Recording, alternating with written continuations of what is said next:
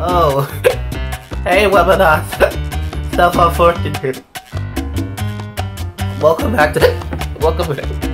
Hi. Thanks for coming back. okay, jokes aside. Hey, webinars. Stefon Fortune here. Welcome back to Stefon TV1. Now, I am not actually drinking any alcohol. it's vodka. But I'm just kidding.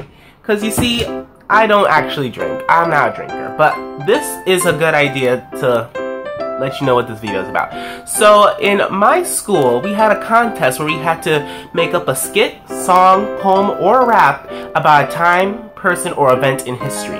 And I had my partner, and we did the Whiskey Rebellion, which is a good idea for this intro to this video. I don't actually drink. I think drinking is disgusting. But it was a good idea. And we did the Whiskey Rebellion and it was funny. Everyone liked it. It was so good and it was like a video we had to take like everyone else. And sadly, we did not come in first place just because we portrayed drunk people. Understandable. But we did come in second place and I asked if I could get the video and show it to you guys. And they said yes. So everyone, I want to show you our video to the Whiskey Rebellion. Hope you guys like it. Enjoy!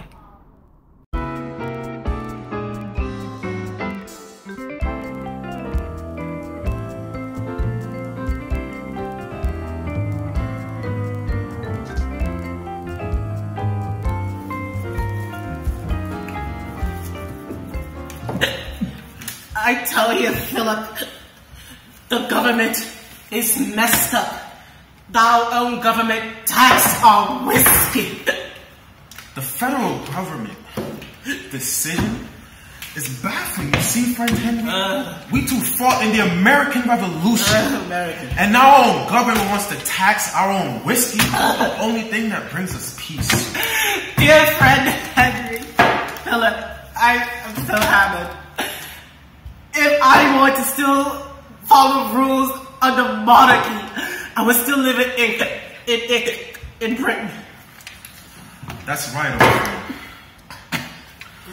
Let a crown be placed thereon by which the world may know that so far as we approve of monarchy, that in Amer America the law is king.